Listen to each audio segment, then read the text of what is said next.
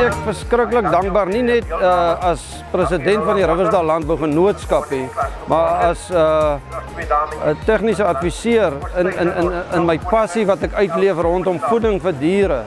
Is dit vir my 'n groot voorreg nie, nie net om my Suid-Kaap boere hier te hê nie, maar oor die land heen het boere ver gereis met hulle diere om hier alle hier toe kom tentoon te stel en en dit is vir dis vir my 'n groot riem in die hart om te laat hulle vertrou het om hiernatoe te reis en hulle diere hier te kan tentoonstel en en daarin se mens uit jou hart uit dankbaar dat die boere daai opoffering doen om hulle hiernatoe te ry.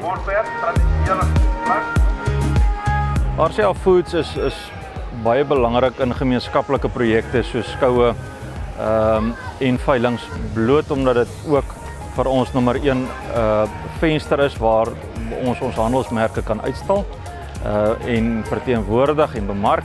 En dan tweedens is dit ook vir ons 'n geleentheid om ook ons kliënte te ondersteun. Ons maak 'n wesenlike impak op hulle dag tot dag bestuur van hulle kuddes en op so 'n skou en op so 'n uh, veiling is dit 'n uiting van die moeite en die tegniese ondersteuning en uh uh aanbevelings wat deur die jaar gedoen is. 'n Soort van 'n kersie op die koek op so 'n veiling en ons wil graag deel daarvan wees. Dit gee vir ons ook geleentheid om te sien waarheen is die bedryf op pad en dit mag dalk vir ons geleentheid gee om te om te in terme van ons produkontwikkeling of daar nie 'n produk is wat hierdie bedryf in die toekoms kan komplementeer nie. En dit is lekker om weer die ou gesigte binne die bedryf raak te sien en weer blad te met hulle.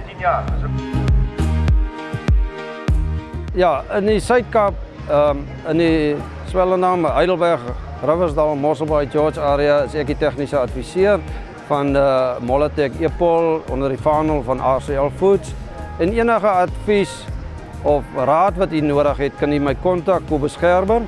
Ek is 'n 082 45 24 031. En al ons produkte is by ons plaaslike koöperasies en landboubesighede beskikbaar.